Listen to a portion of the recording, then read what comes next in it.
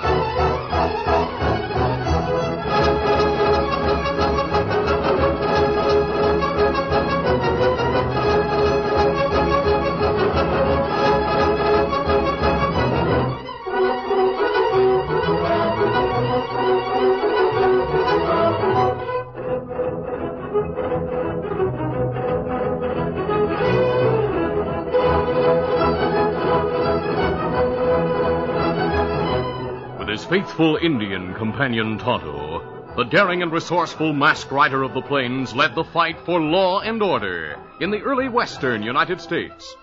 Nowhere in the pages of history can one find a greater champion of justice. Return with us now to those thrilling days of yesteryear. From out of the past come the thundering hoofbeats of the great horse Silver. The Lone Ranger rides again. Silver.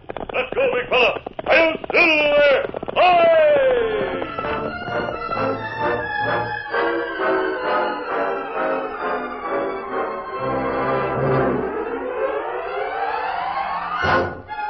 The market price for American beef cattle had reached an all-time low, causing a business depression in the Southwest, where all commerce centered around the raising and selling of cattle.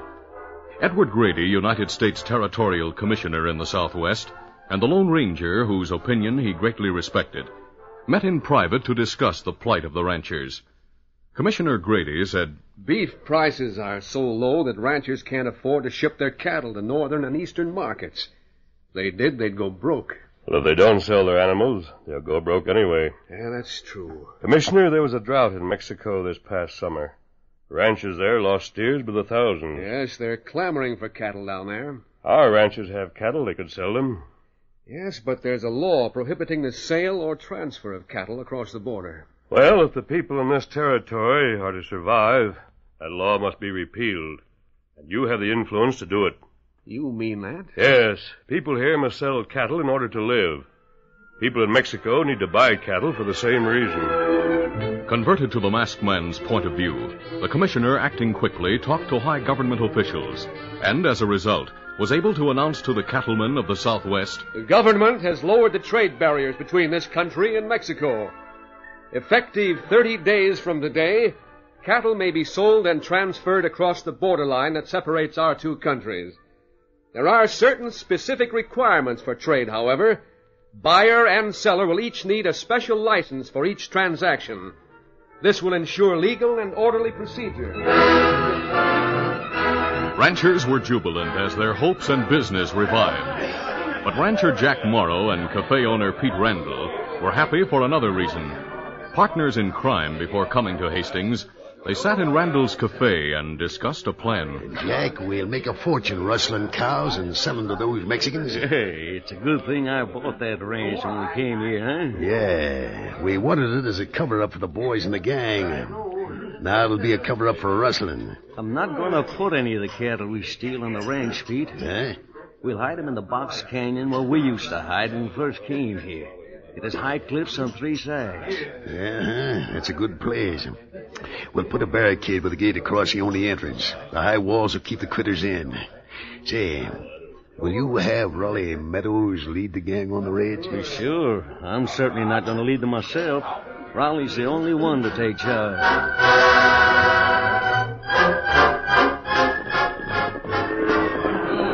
During the next two weeks, murdering outlaws raided cattle herds on the ranches and on the range near Hastings. The rustlers, all from the Circle M Ranch, were led by Foreman Raleigh Meadows. All right, give it up.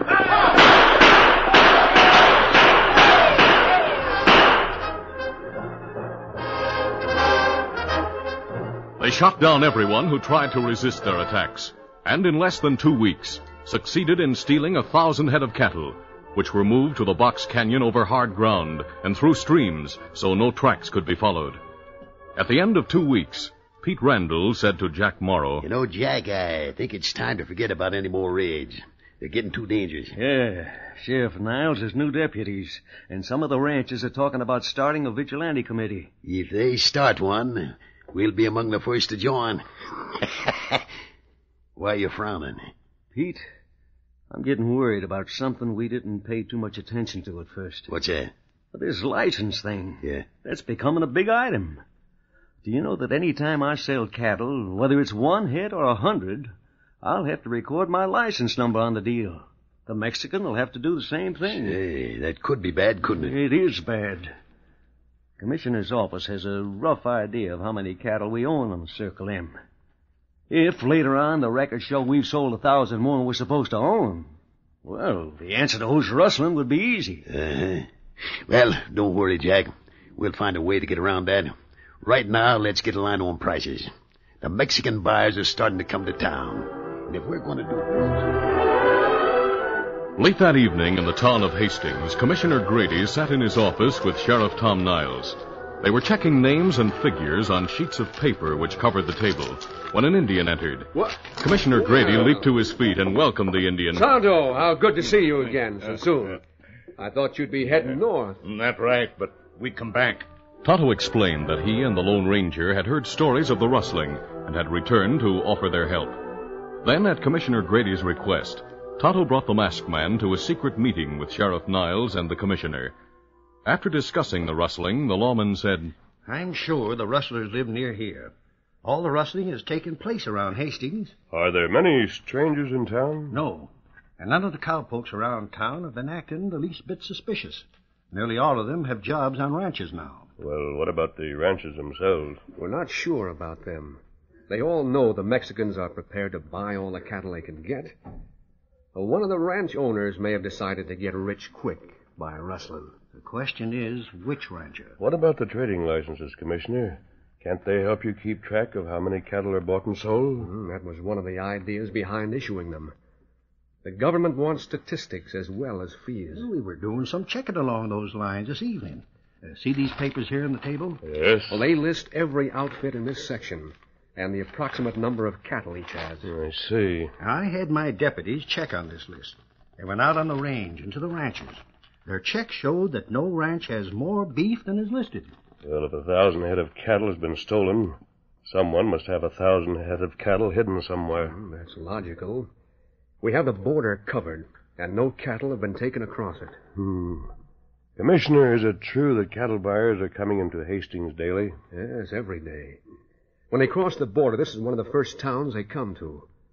Some of them make immediate arrangements to have cattle shipped south when the trading starts two weeks from now. But there are others who just get price quotations and then go on to other towns. The rustlers must know that if they try to pass off the stolen cattle as their own, they're liable to be exposed. Ah, you mean having to give their trading license number and all that, huh? It would be hard for them to get away with selling a thousand more head than they're supposed to own. Well, that's my thought exactly. So if another crook came into the picture, a Mexican crook, say? Hmm? A Mexican crook, Yes, one like old Pedro Almanez. Pedro Almanez. Never heard of him. Uh, Neither did I. Who is he? If you give me the word to go ahead, I'll be Pedro Almanez. Cattle thief, rustler, international swindler and smuggler, border runner. Anything you say. You mean you played a part of a Mexican crook? Yes, and hope that American rustlers will be drawn to Almanez by his reputation. It could happen, you know. Let's make it happen by all means. What do you want me to do? First, of course, I want clothes that'll make me look like a Mexican cattleman. That part's easy. I'll get you those. Uh, will you need money? I'll keep a record of expenses. Very well, you'll be reimbursed. Now, anything else? Commissioner, I'd like you to make a public announcement. If you'll say that you have word that a man who calls himself Pedro Almanez has slipped across The next morning, hastily printed bulletins appeared on the buildings in the town of Hastings. They were signed by Territorial Commissioner Grady, and they warned ranchers in the territory to transact no business with a man who called himself Pedro Almanez. By mid afternoon, the name of the fictitious Mexican was on the lips of everyone in town. I was talking to the sheriff. He says Almanez sneaked across the border and wants to buy cattle even though he can't get a license to trade. I say he's been smuggling beef across the border for years and that no patrol's ever been able to catch him. A deputy told me he carries $50,000 in cash on him at all times. Smart, they say he is, and tough. Well, you better not try to do business with me. I'll hand him over to the law. I don't think he'll try to do business around here. He'd be foolish if he did, seeing how the law's after him.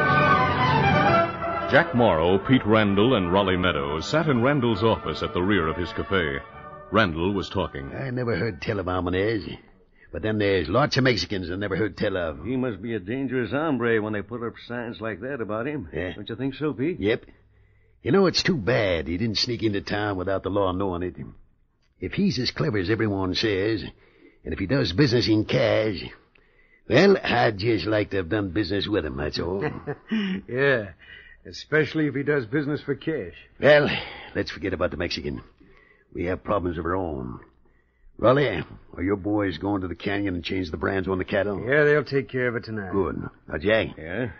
What we have to figure out is a way to start selling those beef without getting caught. We can make a few legitimate sales to start off, and nobody will be the wiser. But later on, A short distance up the street in the sheriff's office, the Lone Ranger, disguised as a dashing Mexican cattleman, prepared to leave Tonto, the sheriff, and Commissioner Grady. Well, perhaps nothing will happen, but I think this plan's worth trying. You're right. Because, as you said before, crooks have a habit of getting around to the cafes. If any of the rustling crowds around, they may become interested in you. but some of the righteous citizens, if they believe the bulletins about Almanez, may want the sheriff to arrest me. Well, don't worry about that. I'll explain it isn't a wanted poster that's hanging on the buildings. I'll tell him it's just a warning. Uh, do you think it advisable for us to remain here? Yes, please. Tonto, you follow me and watch what happens. Uh-huh. Well, that's probably the best. They might be scared off if they saw me or one of my deputies shouting you around. I'll go out this rear door then and start making around to the cafes. Adios. Within a short time, the nightlife in the cafes of Hastings had become electric. A Mexican, talkative and seemingly under the influence of tequila, was making a round of the places and making his presence known. Senors, those posters that warn you about Pedro Almanez, they're all lies. Lies, I say. Poof!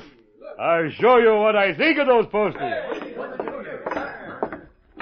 See, I tear this poster off the wall. And I tear it in little pieces like these, see? What about the sheriff, Almanez? Aren't you afraid the sheriff may see you doing that? Well, ho, ho, ho, ho. Amigo, I do not give two centavos for your sheriff or for any lawman. Senor, if lawmen could prove anything against me, I would not be here. But I am here. So it stands to reason I am smarter than they are, huh? ah, but sure. So, who needs to buy cows? Not me. I have plenty of dinero. Instead of cows, I buy drinks for my Americano friends. Come, amigos, drink. Hey, you hear that, boys? He's going to buy drinks. Almanez, is that right? Hey, see, for everybody I buy drinks. Come to the bar and be the guest of these vaqueros.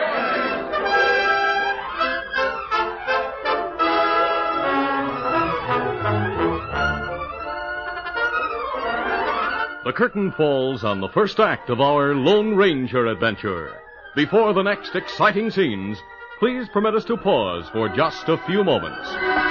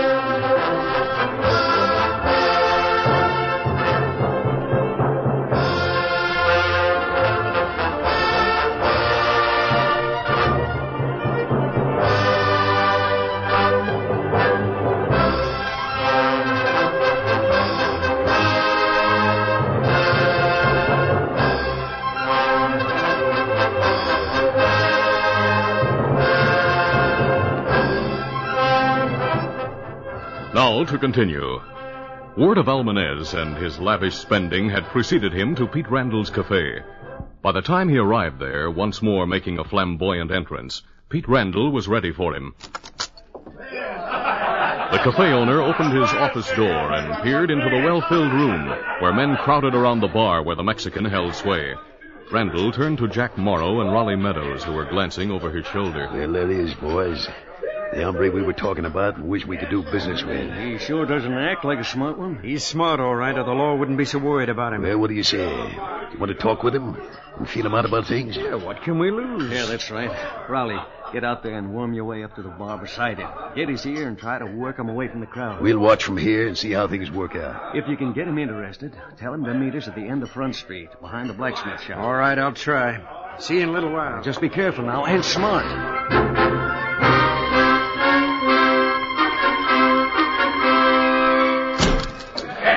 Yeah? Pete, I got him. I whispered a few words to him right All right, off. Raleigh, we saw. Is he going to meet us like we suggested? Yeah, but he's smart, Pete, just like you said.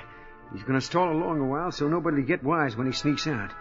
He said he'd meet us in an hour behind the blacksmith shop. Good. How we proposition him, Pete? Just leave that to me. We'll play it smart and be ready for any move he makes. Outside, the man called Pedro Almanez suddenly drew back from the bar in Pete Randall's cafe and started toward the door. Ah, senors, I've had enough. I go. Adios, amigos. We meet again some other time. Hey, wait! What are you running off for? Because, senor, I've had enough here. here is money. Five drinks for everyone.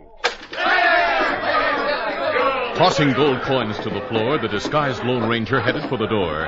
As he expected, some of the hangers on in the cafe dived for the coins, while others waited for drinks. Alone, he hurried from the cafe, down the stairs, and along the boardwalk. He saw Tonto waiting in the shadows and stopped. While pretending to brush his sombrero, he said, Tonto, tell Sheriff Niles and Commissioner Grady to find some way to hide in the blacksmith shop on the corner and to meet someone there in an hour. Ah, me tell him, Kemo Sabe. The Lone Ranger continued on his way. Fifty minutes later, as he walked to the rear of the building that housed the blacksmith shop, he heard a voice speak from the half open window. This is Commissioner Grady. We're in here. We'll be listening. Ten minutes after his arrival, three figures appeared from the underbrush nearby. Jack Morrow, Raleigh Meadows, and Pete Randall walked up to the man in Mexican dress. Yeah, you got here early, huh, Almanez? The early bird, they say, catches the worm, senor. Except that I'm no worm. Almanez, let me introduce my friends, Jack and Pete. Without using last names, Raleigh Meadows introduced the leaders of the rustlers' gang. Uh, senor, we've heard a lot about you. I assure you, Senor Jack, what you heard was not true. I bet it isn't. Uh, why are you in Hastings? you do not know, Senor. Everybody else seems to know. It tells on the bulletins everywhere why I'm here. I want. Well, you guess what I want. You don't have a license to trade, do you? If I did, I would not be sneaking behind blacksmith shops. Senors, let us not waste time. You either have what I want or you have not. What is the answer? Well, that's putting it right on the line. How many is? How many head can you use? Well, how many can you show me? One hundred, two hundred, one thousand, two thousand. Hey, he wants a lot of them. Will you pay cash for them? When I buy, I always pay cash. If I do not have the necessary sum on hand, I get the rest in a very short time. Uh, one thing more. If you were to buy a thousand or more steers, how would you get them over the border? Do not worry about that part. If I see they are the cattle I want, you deliver them to me at the river bank. That seems fair enough. Keep out of this, will you, Raleigh? Almanez, we do have some cattle to sell, and we're willing to sell them off the record. Know what I mean? Senor, I know perfectly what you mean.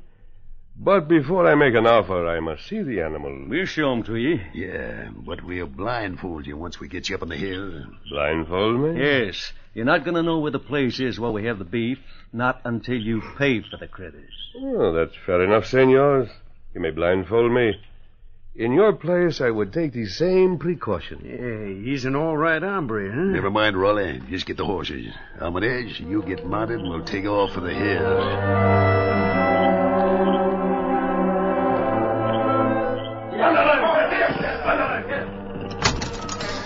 Soon after the three rustlers and the disguised Lone Ranger left, the door of the blacksmith shop opened, and Sheriff Niles emerged with Commissioner Grady and Tonto.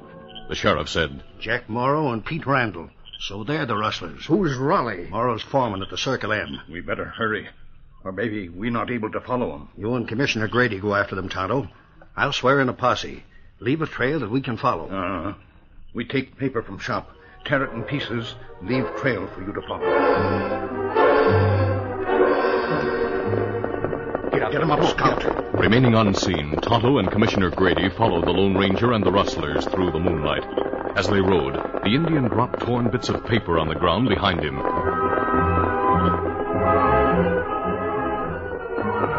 After several hours of riding through hills, over rough country, and off all beaten paths, Tonto and his companions saw the men stop and dismount at a narrow gap in an almost perpendicular wall. We stop here. Oh, Oh, oh, oh, oh. That seems to be some kind of a canyon. Ah.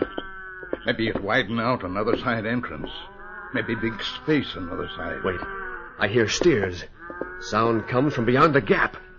Ah. Sound like them in pain. We dismount. Go on foot. Right, steady, Easy, boy. Scout, easy, fella.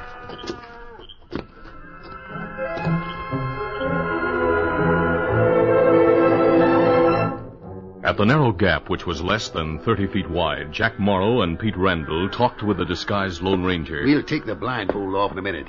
Light the lantern, Jack. Yeah, that's just what I'm doing. Raleigh, open the gate and go through the gap to the box canyon and tell the boys to stop branding those cows for a while. We're going to inspect them. All right, Pete. Hey, boys! It's me, Raleigh! Here's a light, Pete. Raleigh went through the narrow gap to a vast area that was surrounded by high cliffs. It was here that the rustlers were branding the stolen cattle. At the narrow gap, Jack Morrow lifted the lantern. Uh, here, Pete. You'll see better with this. Untie that knot on Almanez's blindfold. Yeah, sure. Let me take it off, Almanez. Very well. There you are. Now we'll take you to the cattle. We'll have to go through this narrow gap in single file. Pete, Yep. That handkerchief, the blindfold. What about it? Look at it. Speak with brown. How did... And look at his face. It's white where the blindfold was. Well, now, Pete. He has brown stuff on his face. He's not a Mexican. Watch out, grab him. Give me that gun. Why, you dirty... old- Pete, grab that lantern. Not fell, but it's still lit. Jack, turn him around. Let me get a good shot at him. I'm trying to... Uh... There you are. Oh, my arm. I'm shot. Here you are, Jack. Oh, Kemo Sabe, me fire just when I'm going to shoot. Nice shot, Tonto. Me take that gun.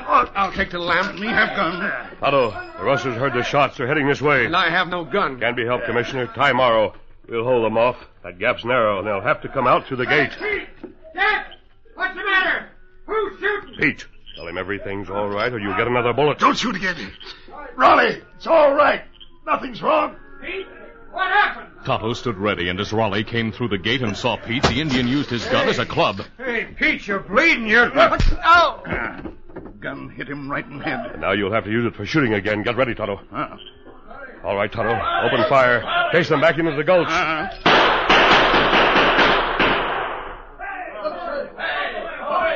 the idea? Tell them, Commissioner. Sure.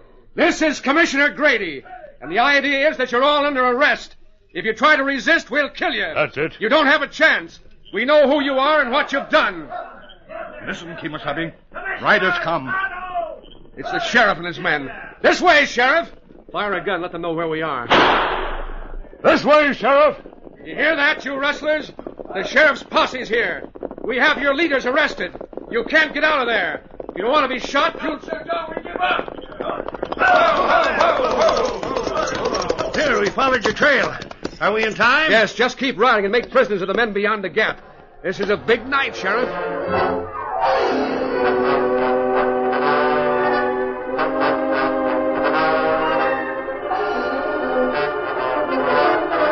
The next morning, with Jack Morrow, Pete Randall, Raleigh Meadows, and their gang under arrest, ranchers rode into the town of Hastings, reclaiming cattle which had been stolen from their ranches a week or two earlier. Sheriff Niles and Commissioner Grady watched them. The sheriff said, And I wish the masked man was here to see how happy he's made all those ranchers. He wouldn't stay around when his job was done. Well, he should have been rewarded for what he did. That's what I thought. But he wouldn't take a cent over what he spent in the cafe. Uh, hey, boys, are you sure now that all of you have your own cattle again? Yeah, we sure have. Thanks for bringing them into town. Uh, he had the rustlers do that. He did. Who's he? The man who pretended to be Pedro Almanez. When there wasn't any person named Almanez.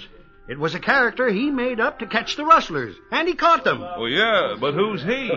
Well, he's also the one responsible for the repeal of the old law to make it possible for you to trade with Mexico again and become prosperous. Huh?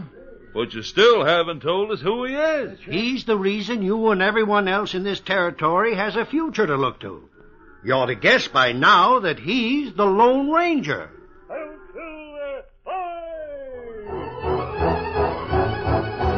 This